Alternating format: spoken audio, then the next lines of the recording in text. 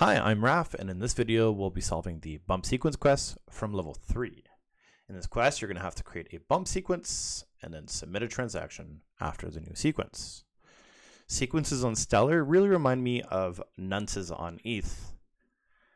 On ETH, however, they are a confirmed transaction count, while on Stellar, you can actually build uh, a transaction with many different operations on a future transaction uh, sequence number. So for example, I can, you know, create a token and send it to someone on um, like number 750, and then I can use a bump sequence to go and jump to 750 and go and trigger it.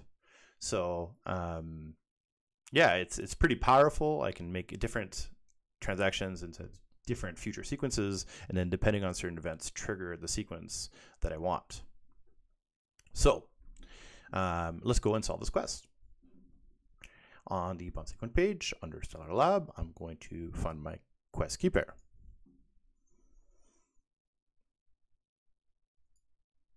Let's go and copy over our public key and our secret key.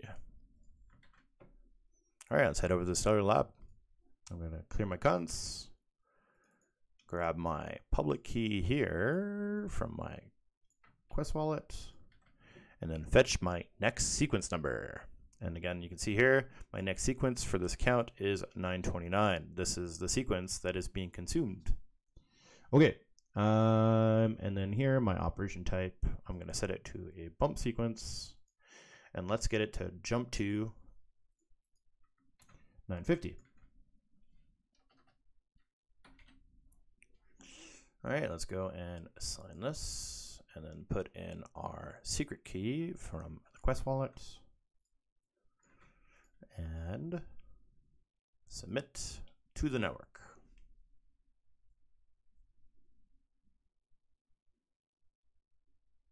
Okay, let's go and build a transaction. And now if we go fetch next sequence number, we should see 951. That's our next sequence number because we're currently on 950. Okay, so now let's go and it doesn't matter which transaction we're doing, we're just consuming the next one after a bump sequence. So any transaction will do. I am going to uh, do a payment to myself. Uh, and I'm not supposed to do this, but I will. Let's go issue a wrap token to ourselves, which is bad practice.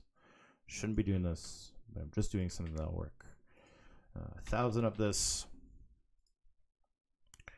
And then let's sign in the transaction submitter. Uh, same secret key, perfect. And then submit to network. There you go. Okay, let's head over to Stellar Quest. Let's go verify.